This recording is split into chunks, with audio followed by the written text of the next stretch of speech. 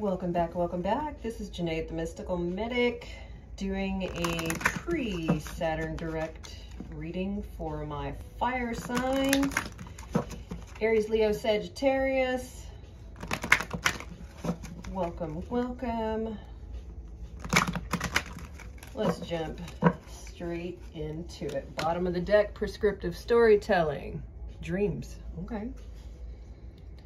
Now, this card is for Aries, the next one for Leo, the next one for Sag, all right? So we're gonna stay on that. And I know sometimes people's readings go straight Aries, keep it there, then Leo, then Sag.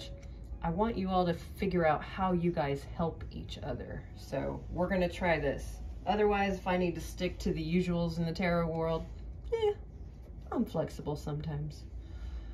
So Aries, dreams, all right, Leo, visualization. And Sagittarius, self-mastery. Overall energy, nurturing. That lioness, oh, with that cute little cub. Fiery, fiery. All right, you guys.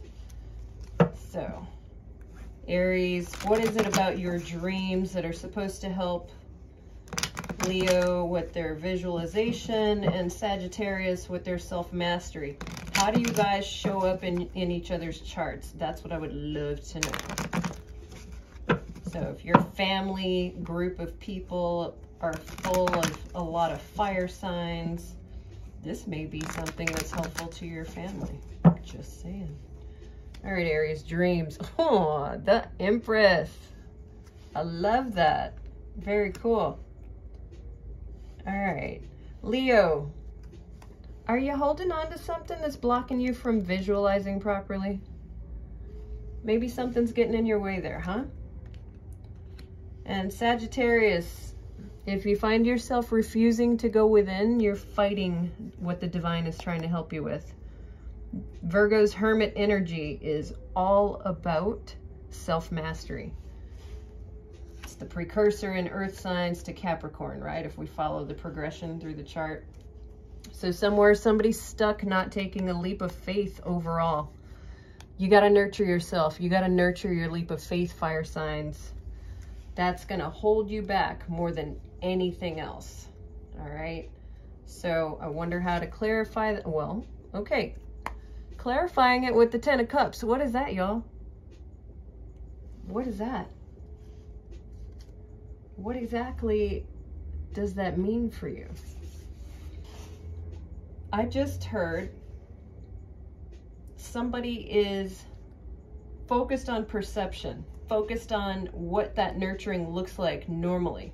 And I'm going to ask each of you to step outside of the box. So maybe Aries, this is where you're able to help the other two because you're the cardinal sign, right? You charge out into the battlefield. You're you're like, uh, I I know what I'm doing. I got this.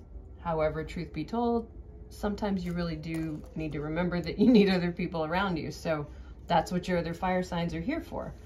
Uh, but right now, you're standing in this Empress power about your dreams. So let's see what kind of clarifying information we can get on your instrumental role as leader. Because Leo, I don't think this is something we need to fight with Aries about. I feel like sometimes maybe Aries forgets to put their heart in their leadership, but because the Empress is here, we're talking about an Aries group that has mastered that part of their Leo energy in the chart. And so that's why they're able to go after their dreams. So Leos, if you're having trouble visualizing something that you had to leave behind, Aries is here to support you and say, hey, it's okay, Leo. It's okay to nurture yourself. It's it's not lame.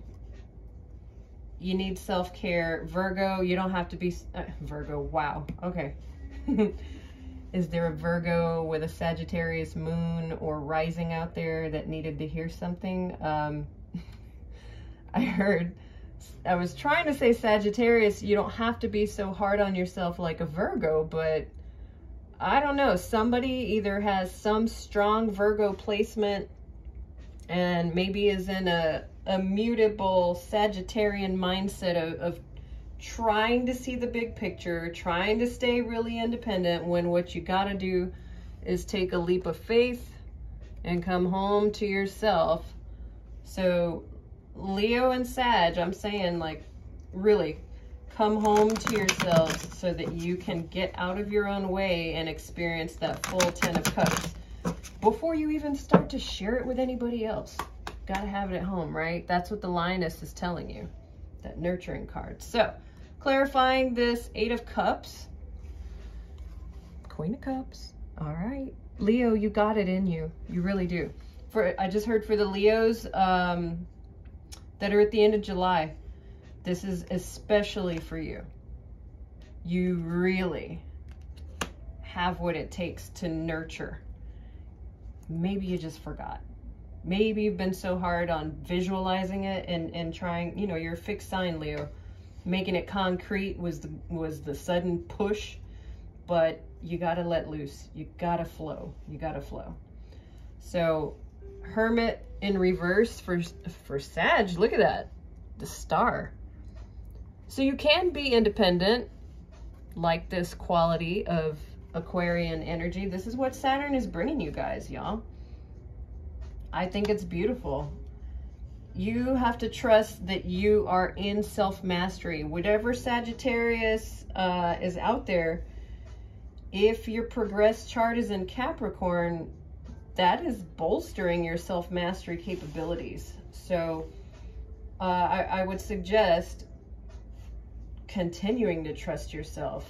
Um, if not, you're just going to end up feeling delayed. Delay is what I get with this not taking a leap of faith.